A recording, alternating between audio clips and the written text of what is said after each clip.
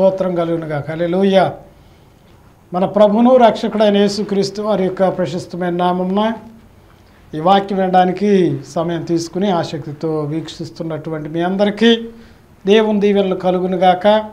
దేవుడు గత కాలమంతా కూడా మనలందరినీ కూడా ఆయన సజీవమైన హస్తాల కింద భద్రంగా క్షేమంగా కాపాడి మరొక సమయంలో ఆయన వాక్యాన్ని విని బలం పొందడానికి ప్రభు ఇచ్చిన అవకాశం బట్టి సమయాన్ని బట్టి దేవునికి కృతజ్ఞత స్థుతులు స్తోత్రాలు చెల్లిస్తున్నాను.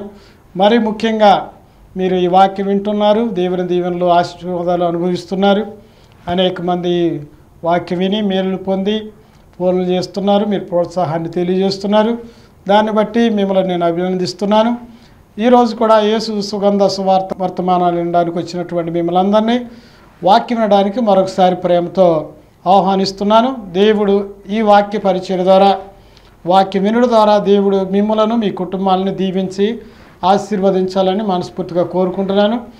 ఒకసారి మనం కళ్ళు మూసుకున్నట్లయితే ప్రార్థన చేసి వాక్య మనం వెళదాం. మమ్మల్ని అతి మికిలిగా ప్రేమిస్తున్న మా ప్రియ పరలోకమందున మా తండ్రి పరిశుద్ధులైన మా ప్రభ మహోన్నతుడైన దేవ మహిమ కలిగిన రాజ్యం ఈ పరిశుద్ధ నామానికి స్తోత్రాలు చెల్లిస్తున్నాం. ప్రభా ఈ సమయం అందు మీ పాదాల చెంతకు చేరి మీ దివ్యమైన మాటలు మేము వినడానికి మాకు మంచి అవకాశమును సమయాన్ని కల్పించినందుకు మీ కృతజ్ఞత వందనాలు చెల్లిస్తున్నాను. ప్రభా వాక్యం ద్వారా మేము దీవించబడాలి బలపరచబడాలి ప్రోత్సహించబడాలి హెచ్చరింపబడాలి. ప్రభా అలాంటి కృపను అనుగ్రహించండి. వాక్యం ద్వారా మాతో సూటిగాను తేటగాను మాట్లాడమని అందరినీ ఆశీర్వదించమని ప్రతి గలిబిలు తొలగించండి అందరితో మీరు తోడుగా ఉండండి. ఏ సైనామను అడుచున్నాను మా పరమ తండ్రి. ఆమెన్. మంచిది. గత వారాల్లో మనం వింటున్నాం. అగ్గయ్య గ్రంథంలో నుండి మనం చూసాం రెండవ అధ్యాయం పంతొమ్మిది వచ్చిన ఇది మొదలుకొని నేను మిమ్మల్ని ఆశీర్వదిస్తానని చెప్పాడు. దేవుడు ఎవరిని ఆశీర్వదిస్తాడు? మనం ఎలా ఉంటే దేవుడు మనల్ని ఆశీర్వదిస్తాడు అనేటువంటి అంశాన్ని మనం ధ్యానం చేస్తున్నాం. మొదటిగా నేను చెప్పినటువంటి ఎపిసోడ్లో చెప్పాను. మన పాపములను విడిచిపెట్టుడు ద్వారా దేవుడు మనలను ఆశీర్వదిస్తాడు. అలాగే రెండవదిగా మనం దేవుని యొక్క మాటను జాగ్రత్తగా వినడం ద్వారా దేవుడు మనను ఆశీర్వదిస్తాడని చెప్పాను. మూడవదిగా మనం దేవుని యొక్క మందిరంలో ఉండడం ద్వారా దేవుని మందిరంలో మనం నివాసం చేయడం ద్వారా లేదా దేవుని మందిరాన్ని మనం ప్రేమించడం ద్వారా దేవుని సంఘాన్ని దేవుని సన్నిధిని మనం మనస్ఫూర్తిగా ఇష్టపడి ఆయన సన్నిధిలో మనం గడపడం ద్వారా దేవుడు మనలను ఆశీర్వదిస్తాడనేటువంటి విషయాల్ని మనం ధ్యానం చేస్తూ వచ్చాం. ఈరోజు కూడా దేవుడు ఎవరిని ఆశీర్వదిస్తాడు? లేకపోతే మనం ఎలా ఉంటే మనం దేవుని చేత ఆశీర్వదించబడతాం? అనేటువంటి విషయాన్ని మరొక విషయాన్ని మనం ఈరోజు ధ్యానం చేద్దాం. చూడండి నిజంగా మనం తెలుసుకుంటున్నాం దేవుడే మనల్ని ఆశీర్వదించేది. దేవుడు తప్ప మనకు వేరే విధంగా ఆశీర్వాదాలు మనము అనుభవించలేము. ఒక వాక్యం చెప్తా ఉంటుంది యహోవ ఆశీర్వాదం ఐశ్వర్యం ఇచ్చును అది నరుల కష్టం బట్టి ఎక్కువ కాదంట. అంటే మనం కష్టపడడం ద్వారా ఏది ఎక్కువ చేసుకోలేం. ఏ ఆశీర్వాదాలు మనం అనుభవించలేం. కాబట్టి దేవుని చేత మనం ఆశీర్వదించబడాలి. మనలను దేవుడు ఆశీర్వదించడానికి సిద్ధంగా ఉన్నాడు. దేవుడు ఎవరిని ఆశీర్వదిస్తాడో మనం తెలుసుకుని ఎలా ఉంటే మనం ఆశీర్వదించబడతాం మనం తెలుసుకుని అలాగా ఉండి ఆ వాక్యానుసారంగా మనం ప్రవర్తించి మనం జీవించిన వారమైతే తప్పనిసరిగా మన కుటుంబాలు మనం ఆశీర్వదించబడతాం. మన పిల్లలు ఆశీర్వదించబడతారు. పిల్లల పిల్లలు తరతరాల వాళ్ళు ఆశీర్వదించబడతారు. దేవుని మాట వినడం ద్వారా మనం అనేక మందిని మనం చూస్తున్నాం. దేవుని మాట వినడం ద్వారా ఆశీర్వదించబడినటువంటి వారు. అబ్రహామును మనం చూసాం కదండి. అబ్రహాము దేవుని మాట విన్నాడు. అబ్రహమా నువ్వు లేచి నేను చూపించబోయే దేశానికి వెళ్ళమని దేవుడు చెప్పాడు. ఆదికాండం పన్నెండు అధ్యాయులు మనం చూస్తే ఆ మాటలు మనకు కనపడుతున్నాయి. అబ్రహాము ఎక్కడికి వెళ్ళాలి? ఎందుకు వెళ్ళాలి? ఎప్పుడు వెళ్ళాలి? అక్కడ ఎలా ఉంటుంది? ఏమీ దేవుని సందేహాలు అడగల ప్రశ్నించల ఎదురు మాట్లాడల. దేవుడు చెప్పాడు దేవుడు చెప్పినట్లుగా అబ్రహాం చేశాడు. కాబట్టి అబ్రహాము దేవుని మాటకు విధేయుడయ్యాడు. దేవుడు చెప్పినట్లుగా చేశాడు. ఎటు నడమంటే అటు నడిచాడు. ముందుకు వెళ్ళమంటే ముందుకెళ్ళాడు ఆగమంటే ఆగాడు. ఏది చేయమంటే అది చేశాడు కాబట్టి అబ్రహాము దేవుని చేత ఆశీర్వదించబడ్డాడు. దేవుని యొక్క ఆశీర్వాదము ఆయన ఒక్కడ మాత్రమే కాదు ఆయన పిల్లల పిల్లలు తరతరాల వరకు నేటి వరకు కూడా ఆశీర్వాదాన్ని అబ్రహాం సంతానం అనుభవిస్తూ ఉన్నారు. కాబట్టి మనము దేవుడి మాటను వినడం ద్వారా మనం మాత్రమే కాదండి ఈ రోజుతో నాకు ముగిసిపోయింది నా అవసరం తీరిపోయింది నేను బాగానే ఉన్నాను ఇంకా నా పిల్లలు ఎలా ఉంటే ఏమైంది అని అనుకోకూడదండి. మన ఆశీర్వాదం మనతో మాత్రమే ఆగిపోకూడదు. మన పిల్లల పిల్లల తరతరాల వాళ్ళకు మనం ఆశీర్వాదానికి కర్తలుగా మనం ఉండాలని దేవుడు కోరుకుంటున్నాడు. కాబట్టి అబ్రహాం వలె దేవుడు నిన్ను నీ కుటుంబాన్ని ఆశీర్వదించబోతున్నాడు. దేవుని మాటకు లోబడితే దేవుని మాటకు విధేయత మనం కలిగి జీవిస్తే తప్పనిసరిగా దేవుని ఆశీర్వాదాలు మనం అనుభవించడానికి మనకి అవకాశాన్ని దేవుడు మనకి ఇస్తాడు అలే లోయ సరే ఈ రోజున చూడండి మనం ఎలా ఉంటే మనలను దేవుడు ఆశీర్వదిస్తాడు అనే విషయాన్ని మనం ధ్యానం చేద్దాం. చూడండి సామెతల గ్రంథం పదవ అధ్యాయము ఆరో వచనంలో మనం ధ్యానం చేస్తే నీతిమంతుని తల మీదికి ఆశీర్వాదం వచ్చును బలత్కారము భక్తిజనుని నోరు మూయించును. చూడండి నీతిమంతుని తల మీదకి ఆశీర్వాదం వచ్చును. ఎవరి మీదకి ఆశీర్వాదం వస్తుంది అంటే నీతిమంతుల మీదకి. దేవుడు ఎవరిని ఆశీర్వదిస్తాడో ఈరోజు మనం ధ్యానం చేయబోతున్నాం. నిజంగా ఈ లోకంలో మనం చూస్తే రోమపత్రిక మూడో అధ్యాయం ఇరవై మూడో వచనం ప్రకారం ఏం చెప్తుందంటే నీతిమంతులు లేరంట. అందరూ పాపం చేసి దేవుడు అనుగ్రహించే మహిమను పొందలేకపోతున్నారంట. అంటే మరి నీతిమంతులు లేరు కదా.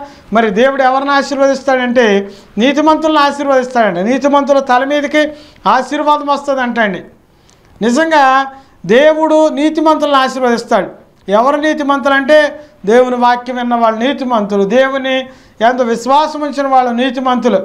అబ్రహాము దేవుని నమ్మాను అది అతనికి నీతిగా ఎంచబడు దేవుని నమ్మడమే మనం విశ్వాసాన్ని నీతిని పొందుకోగలుగుతాం అన్నమాట. దేవుని నమ్మితే మనం క్రియలను బట్టి నీతిమంతులు అవ్వం. అబ్రహాం క్రియలను బట్టి నీతిమంతులు అవ్వ. దేవుని నమ్మడాన్ని బట్టి నీతిమంతుడు అయ్యాడు అబ్రహాం బలిపీఠం అర్పించడం ద్వారానో లేకపోతే ఇంకేదో బలు అర్పించడం ద్వారా ఏదో చేయడం ద్వారా నీతిమంతుడు అవ్వలేదు కానీ అబ్రహాం నీతిమంతుడు ఎలాగయ్యాడంటే దేవుని ఎందు విశ్వాసం ఉంచడం ద్వారా దేవుని ఎందు నమ్మకం ఉంచడం ద్వారా నీతిమంతుడు అయ్యాడు అలాగే ఈ రోజున ఎవరు చూసినా పాపంతోనే ఉన్నారు పాపంలోనే జీవిస్తున్నారు. మరి నీతిమంతులుగా మార్చబడాలంటే ఎలా సాధ్యపడుతుందంటే యేసుక్రీస్తు రక్తము ప్రతి పాపం నుండి మనల్ని కడిగి మనల్ని నీతిమంతులుగా మారుస్తుందండి. యేసు రక్తంలో మీరు కడగబడండి. ఏసయ రక్తము నది వలె ప్రవహిస్తూ ఉంది ప్రతి పాపి చెంతకు వస్తూ ఉంది. నేను పాపిని కదా అని బాధపడాల్సిన అవసరం లేదు. నేను నీతిమంతుడిని ఎలాగవుతాను నీతిమంతుడిని అవ్వడానికి ఏ ధర్మకార్యాలు చేయాలి?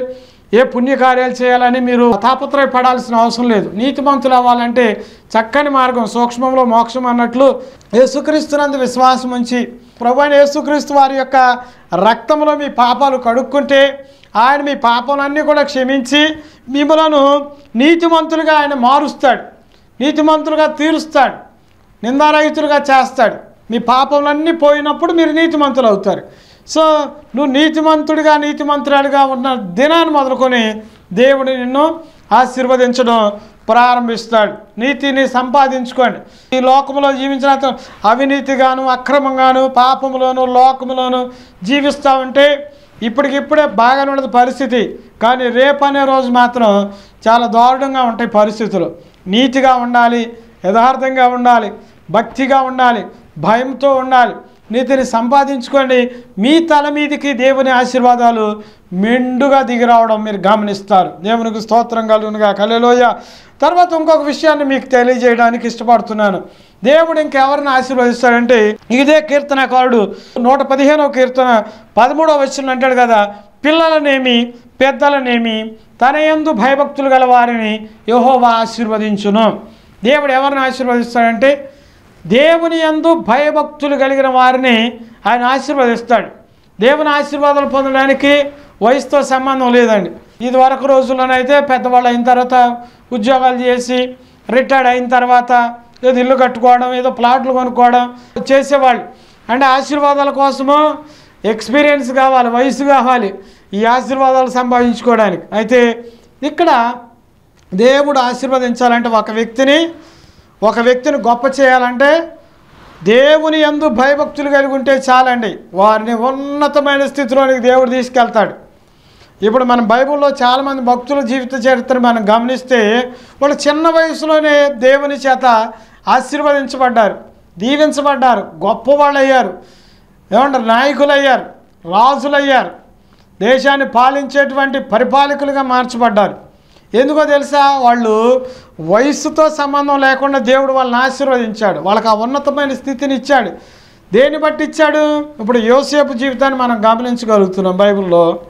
యోసేపు చాలా చిన్న వయసులోనే అతి తక్కువ వయసులోనే తనది కాని దేశంలో వేరే దేశంలో ఆయన ఆ దేశానికి రాజుగా నియమించబడ్డాడు. ఒక ఉన్నతమైన స్థానాన్ని పొందుకున్నాడు. ఆయనకేమీ బ్యాక్గ్రౌండ్ ఏమి లేదు. ఆయనకి ఎవరు కూడా ఓటర్లేమి ఏమి ఓట్లేసి గెలిపించి రాజుగా నియమించలేదు లేకపోతే ఆయన ధనము ద్వారానో పెట్టుబడి పెట్టి లేకపోతే రాజు అవ్వలేదు ఆయన. చదువు వల్ల వచ్చింది కూడా కాదు అది. ఆయన చదువుకోలేదు ఆయనకి బ్యాక్గ్రౌండ్ లేదు ఆయనకి ఆస్తులు లేవు. వెనకాల వాళ్ళ సపోర్టింగ్ ఎవరూ లేరు. అయినా సరే యోసేపు వేరే దేశాన్ని పాలించే నాయకుడిగా మార్చబడ్డాడంటే దానికి కారణం ఏంటో తెలుసండి? ఆయన దేవుని యందు భయము భక్తి కలిగి ఉన్నాడు. భయం కలిగి ఉన్నాడు. ప్రియ దేవుని బిడ్డలారా గమనించండి ఈ రోజుల చాలామందిలో దేవుడు అంటే భయం లేకుండా పోతా ఉంది. దేవుడు చూస్తున్నాడండి. అన్నీ గమనిస్తూ ఉన్నాడు. దేవుడు అన్నీ వింటా ఉన్నాడు. నూట ముప్పై తొమ్మిదో కీర్తనలో కీర్తనకారుడు అంటాడు యహోవా నీవు నన్ను పరిశోధించి పరీక్షించి తెలుసుకుని ఉన్నావు. అన్నీ తెలుసుకున్నాడు దేవుడు. ఆయన మన టాప్ టు బాటం వరకు అన్నీ కూడా స్కాన్ చేస్తున్నాడు రికార్డ్ చేస్తున్నాడు. వీడియో రికార్డింగ్ ఆడియో రికార్డింగ్ అన్నీ చేస్తున్నాడు దేవుడు. దేవునికి కనబడని స్పష్టం ఏది లేదు అంటాడు ఎబ్రి పత్రిక గంధకర్త ఆయనకు సమస్తము కూడా తేటగా కనపడుతున్నాయి అంటాడు. కాబట్టి దేవుడు అన్నీ చూస్తున్నాడండి. మన పెద్దలు మనల్ని గమనిస్తున్నారు మనల్ని అన్నీ చూస్తున్నారంటే మన పెద్దలకు భయపడతాం. నిజంగా వాళ్ళకి అన్నీ కనపడ వాళ్ళకి వాళ్ళకి అన్నీ విన- వినపడవు. అయినా అధికారులకు భయపడతారు. పై నాయకులకు భయపడుతున్నారు. మరి దేవుడికి అన్నీ కనపడుతున్నాయి. అన్ని సమయాల్లో దేవుడు మనల్ని చూస్తున్నాడు. యహోవా కనుదృష్టి లోకమంతటా సంచారం చేస్తున్నది. అది నీతిమంతుల మీద ప్రకాశించున్నది అంటాడు. ఆయన చుట్టూ అందరినీ చూస్తూ ఉన్నాడు. ఇక్కడ మనం గమనిస్తున్నాం. నూట ముప్పై తొమ్మిదో కీర్తనలో నేను లేచుటయో నేను పండుకున్నట్టయో నా చర్యలన్నీ నువ్వు ఎరిగి ఉన్నావు అంటాడు. అంటే మన పనులన్నీ దేవుడు తెలుసు. మనం లేచేది పండుకునేది ఏం మాట్లాడేది. ఇంకో మాట అంటాడు నా మాట నాలుగు దాటి రాకమునిపే అది నువ్వు ఎరిగి ఉన్నావంటాడు అంటే మనం ఏం మాట్లాడబోతున్నామో దేవుడికి తెలుసు. మన హృదయం ఏముందో మన హృదయంలో ఏం నింపుకుంటే అదే నోరు మాట్లాడద్దు.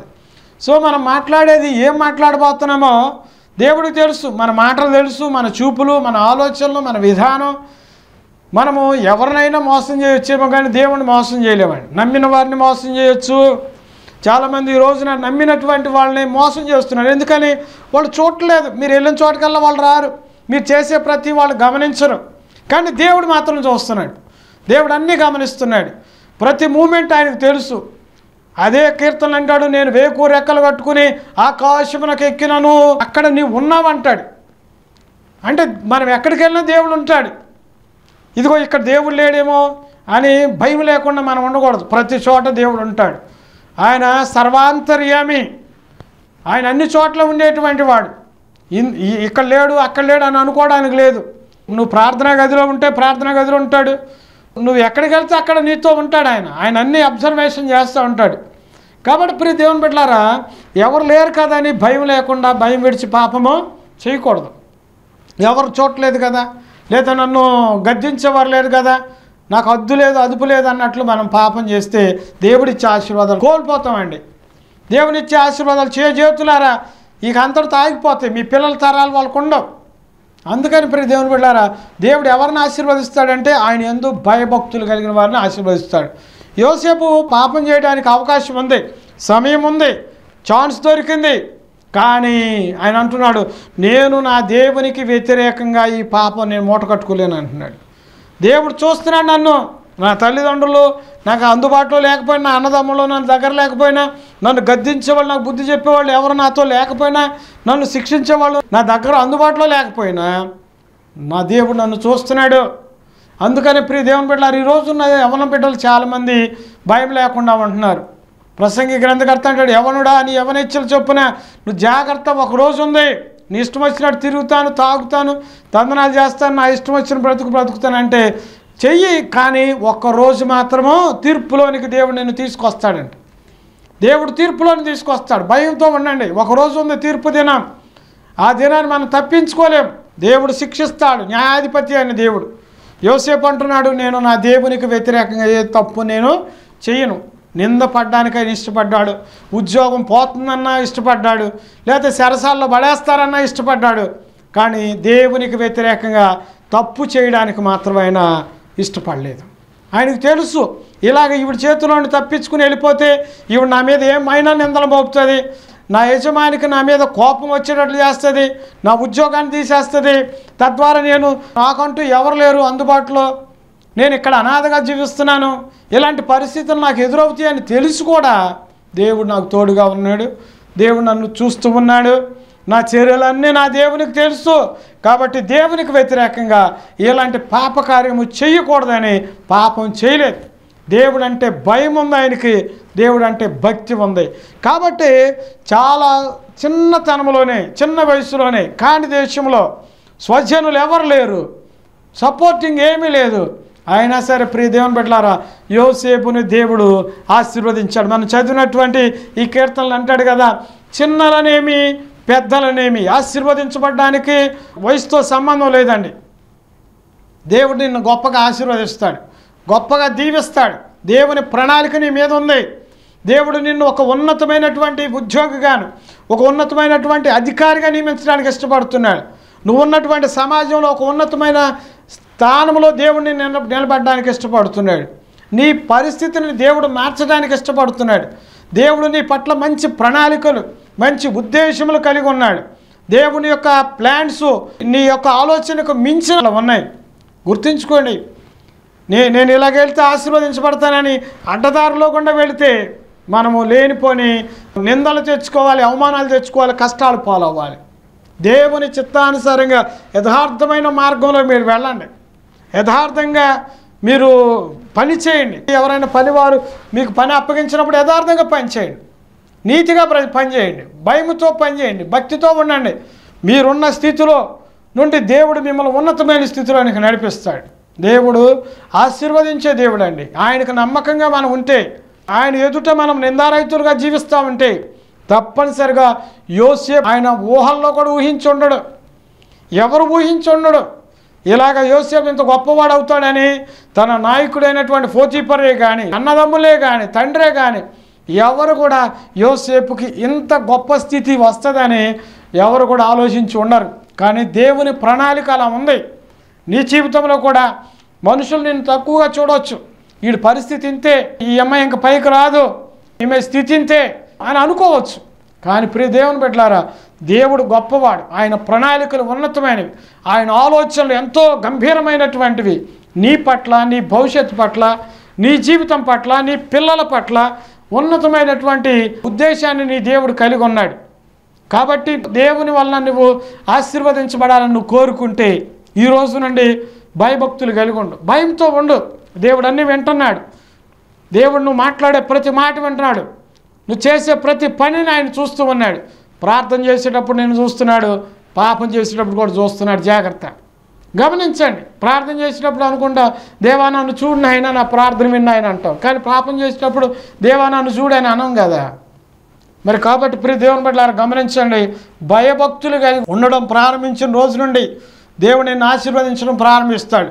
దేవుని దీవెనలో నీ మీద నీ కుటుంబం మీద ఉండడం నువ్వు గమనించగలుగుతావు. భయభక్తులు అనేటువంటివి చాలా ప్రాముఖ్యమైనటువంటివి. బైబిల్లో ఉన్న ప్రతి భక్తులు కూడా దేవుని యందు భయము భక్తి కలిగి ఉన్నారు కాబట్టి వాళ్ళకి వెనక బ్యాక్గ్రౌండ్ లేకపోయినా చదువు లేకపోయినా ఐశ్వర్యం లేకపోయినా రికమెండేషన్ లేకపోయినా వాళ్ళు ఉన్నతమైనటువంటి స్థితిలోనికి వాళ్ళు వచ్చారు. మీ జీవితంలో కూడా దేవుడు ఆ స్థితిని ఇవ్వడానికి ఇష్టపడుతున్నాడు. దేవుడు మిమ్మల్ని ఆశీర్వదించడానికి దేవుడు మిమ్మల్ని గొప్ప చేయడానికి మీరున్న సమాజంలో ఒక పేరును ప్రఖ్యాతను గౌరవాన్ని ఘనతను దేవుడు తీసుకురావడానికి ఇష్టపడుతున్నాడు. ఆ స్థితిలోనికి నువ్వు రావాలని కోరుకుంటే ఎప్పుడు దీన దరిద్రులుగా ఉండడానికి లేకపోతే ఏమీ లేని వాళ్ళుగా ఉండడానికో అలా ఉండడానికి ఎప్పుడు అనుకోబాకండి. నా స్థితి మారాలి. నేను నాకు నా పిల్లలకు ఆశీర్వాదకరంగా నా సమాజంలో ఆశీర్వాదకరంగా నేను ఉండాలనేటువంటి ఆలోచన నీలో కలగాలి. అలా కలిగితే ఈ రోజు నుండి మొదలుపెట్టు. భయభక్తులు కలిగి ఉండడం స్టార్ట్ చేయి. దేవుడు అంటే భయం నీలో ఉండాలి దేవుడు అంటే భక్తి నీలో ఉండాలి. క్రమంగా బైబిల్ చదవండి వాక్య ధ్యానం చేయండి. క్రమంగా ప్రతిరోజు దేవునితో మీరు మాట్లాడండి. భక్తి చేయండి ఆరాధన చేయండి మందిరానికి వెళ్ళండి క్రమాలు పాటించండి భక్తిలో ఉండండి భయంతో ఉండండి. ఈ రెండు ఎవరైతే కలిగి జీవిస్తారో వారి జీవితాలు ఆశీర్వాదకరంగా మార్చబడతాయి. దీవించబడతారు. దేవుడు అంటున్నాడు పిల్లలనేమి పెద్దలనేమి తన యందు భయభక్తులు గల వారిని యహోవా ఆశీర్వదించును. దేవుడు ఆశీర్వదించేది ఎవరిని ఆశీర్వదిస్తాడంటే నీతిమంతులను ఆశీర్వదిస్తాడు. నీతిమంతుల తల మీదకి ఆశీర్వాదం వచ్చినని మనం చదివాం. రెండవదిగా ఇంకొకటి ఇంకో విషయం మనం తెలుసుకున్నాం కదా యహోబయందు భయభక్తులు కలిగి ఉంటే వారిని పిల్లలనైనా పెద్దలనైనా వయసుతో సంబంధం లేకుండా నిన్ను దేవుడు ఆశీర్వదిస్తాడు. కొంతమంది చిన్న వయసులో ఆశీర్వదించబడ్డారు కొంతమంది పెద్ద వయసులో ఆశీర్వదించబడ్డారు. వయసుతో సంబంధం లేదు దేవుడు ఆశీర్వదించడానికి. ఏ వయసులోనైనా ఆశీర్వదిస్తాడు దేవుడు. చిన్న వయసులోనే ఏమన్నా ఐశ్వర్యవంతులైన వాళ్ళు ఉన్నారు అధికారులైన వాళ్ళు ఉన్నారు. మరి దేవుడు కూడా దేవుడు నిన్ను కూడా అదే స్థితిలోనికి ఆ ఆ కృప దేవుడు నీకు అనుగ్రహించాలని కోరుకుంటున్నాను దేవునికి స్తోత్రం కలుగునుగా కలెలోయ దేవుడు నిన్ను నీ కుటుంబాన్ని ఆశీర్వదిస్తాడు. నీవు భయభక్తులు కలిగి ఉండు. నీతో పాటు నీ బిడ్డలను కూడా అదే భక్తిలోను అదే భయంలోను నడిపించుకో. దేవుడు నిన్ను నీ పిల్లలను గొప్పగా ఆశీర్వదిస్తాడు దీవిస్తాడు. ఉన్నతమైన స్థితిని దేవుడు మీకు కలుగు చేస్తాడు. ఇంకొక అంశాన్ని మనం ధ్యానం చేద్దాం. కీర్తన నూట ముప్పై మూడవ కీర్తన మూడో వచనాన్ని మనం చదివితే కీర్తనకారుడు అక్కడ రాస్తుంటాడు కదా. ఒకటో వచనం అంటాడు సహోదరుల ఐక్యత కలిగి నివసించుట ఎంత మేలు ఎంత మనోహరం. కింద వచ్చిన వాళ్ళు అంటాడు కదా ఆశీర్వాదమును శాశ్వత జీవ జీవమును చట ఉండవల్లని యహోవా సెలవిచ్చుచున్నాడు అన్నాడు ఆశీర్వాదంతోనూ శాశ్వత జీవంతోనూ దేవుడు చెప్తున్నాడంట. ఏమని చెప్తున్నాడు తెలుసా? ఆశీర్వాదమా నువ్వు అక్కడ ఉండు అంటున్నాడు. ఎక్కడ ఉండమంటున్నాడు ఎవరింట్లో ఆశీర్వాదం ఉంచుతాడంటండి దేవుడు? ఐక్యత ఉన్న ఇంటిలో ఆశీర్వాదం ఉంటుందంట. దేవుని స్తోత్రం. అలేలోయ ఐక్యత! ఏ కుటుంబంలోనైతే ఐక్యత ఉంటుందో ఇక్కడ నూట ఇరవై ఎనిమిదో కీర్తన అంటాడు కదా యుహో ఎందు భయభక్తులు కలిగి ఆయన త్రోలు నడుచువారు. అందరూ ధన్యులు. నిశ్చయంగా నీవు నీ చేతుల కష్టార్జితం అనుభవించదువు. నీ పిల్లలు నీ బల్ల చుట్టూ ఒలివ మొక్కల వలె ఉందురు. నీ లోగిటి నీ భార్య ఫలించు ద్రాక్ష ఇదంతా కూడా ఐక్యత కలిగిన కుటుంబం. ఐక్యత ఉన్న చోట ఆశీర్వాదం ఉంటుందండి. మీ కుటుంబము ఐక్యతతో ఉంటున్నారా? మీ కుటుంబం ఆశీర్వదించబడాలి దీవించబడాలి మీ కొరతలు తీర్చబడాలి మీ అవసరాలు తీర్చబడాలి. మీకు కావలసినటువంటివన్నీ కూడా దేవుడు మీకు అనుగ్రహించాలి. అంటే భార్య భర్తల మధ్యన ఐక్యత ఉండాలి. తల్లిదండ్రులకు పిల్లల మధ్యలో ఐక్యత ఉండాలి. మనసు కలిగి ఉండాలి. మాట ఒకటై ఉండాలి. ఏమండి? యూనిటీ ఐక్యమత్యమే మహాబలం అంటారు. ఐక్యమత్యంతో ఉండండి. కుటుంబంలో భర్తది ఒక మాట భార్యది ఒక మాట భర్తది ఒక ఆలోచన భార్యది ఒక ఆలోచన. తల్లిదండ్రులు ఇద్దరు ఒకటిగా ఒక ఆలోచన కలిగి ఉంటే పిల్లలు మరొక ఆలోచన కలిగి ఉంటే ఆ కుటుంబాలు ఎన్నడూ కూడా పైకి రావు. ఎన్నడూ కూడా ఆశీర్వదించబడవండి. ఈ రోజు నుండి తెలుసుకోండి మీ కుటుంబంలో అందరు కలిసిమెలిసి ఉంటున్నారండి. మీ భార్య మాట భర్త వింటున్నాడా? భర్త మాట భార్య వింటున్నారా? పిల్లలారా మీ తల్లిదండ్రుల మాట మీరు వింటున్నారా? మీరు అందరూ కూడా ఒక మాట మీద ఉంటే తప్పనిసరిగా మీ కుటుంబం ఆశీర్వదించబడతాడు ఒకళ్ళేమో తూర్పుకి ఇంకోటి ప పడమరకి ఆలోచిస్తూ ఉంటే ఒకళ్ళ ఆలోచనలు నెగిటివ్గా ఒకళ్ళ ఆలోచన పాజిటివ్గా ఉంటే మీరు ఆశీర్వదించబడలేవు. ఈ రోజు నుండి ఒకటిగా ప్రార్థన చేయండి. కుటుంబంలో భార్యాభర్తలు పిల్లలు కలిసి ప్రార్థనలో ఐక్యతతో ప్రార్థన చేయండి. ఏకీభవించి ప్రార్థన చేయండి. అంతేగాని నా ప్రార్థన నేను చేసుకున్నాను నువ్వు చేసుకో అని భార్యను అనడం కానీ భర్తను అనడం కానీ అలా కాకుండా కుటుంబ ప్రార్థన ప్రతి కుటుంబంలో ఉండాలండి. ప్రతి గృహములో కుటుంబ ప్రార్థన ఉండాలి. మీ భార్యాభర్తలు ఇద్దరున్నా సరే ఇద్దరు కలిసి ప్రార్థన చేసుకోండి. మీ పిల్లలుంటే మీ పిల్లలతో కలిసి ప్రార్థన చేసుకోండి. ఐక్యతను సూచిస్తుంది. ఐక్యత ఉన్నటువంటి కుటుంబాల్లో రెండు విషయాలు నేను చెప్తాను. ఐక్యత కలిగి ఉన్నటువంటి కుటుంబాల్లో ఆనవాళ్ళు కలిసి ప్రార్థన చేస్తారు కలిసి భోజనం చేస్తారు. మీకు మీ కుటుంబంలో అలవాటు ఉందండి? లేకపోతే అలవాటు చేసుకోండి. కలిసి ప్రార్థన చేసుకోండి. మీ భర్తతో కలిసి ప్రార్థన చేయి. మీ పిల్లలు ఉన్నప్పుడు వాళ్ళతో కలిసి ప్రార్థన చేయి. మీ కుటుంబస్తులు అందరూ కూడా కలిసి ప్రార్థన చేయండి. అంత మాత్రమే కాకుండా కలిసి భోజనం చేయండి. భోజనపు బల్ల చుట్టూ మీ పిల్లలు ఒలివ మొక్కల్లాగా ఉండాలి. అంటే ఐక్యత అంటే అక్కడ కనపడద్దు మన కుటుంబంలో. పిల్లలందరూ కూడి భోజనం చేసేటప్పుడు అందరూ కలిసి భోజనం చేయండి. కలిసి భోజనం చేయండి. నేను ఒక గంటకి తింటానులే నువ్వు ఒక అరగంటకి తింటానులే ముందు వెనక నువ్వు అలా ఉంటుంది కదండి. ప్రతి కుటుంబంలో కూడా కలిసి భోజనం చేయడం నేర్చుకోండి. అక్కడ ఐక్యత కనపడుతుంది. ఐక్యత ఉన్న చోట శాపానికి లేకపోతే అపవాదికి తావు ఉండదు అపవాది రాడు. నలుగురు కలిసి ఉన్న మధ్యలో అన్నదమ్ము అన్నదమ్ములు నలుగురు కలిసి ఉన్నారు అనుకోండి బయటోడు వస్తాడు వాళ్ళ మీదకి రాలేడు. అమ్మో వీళ్ళు ఒకే మాట మీద ఉంటారా బాబు అని ఎవరు మీ దగ్గరకు రారు.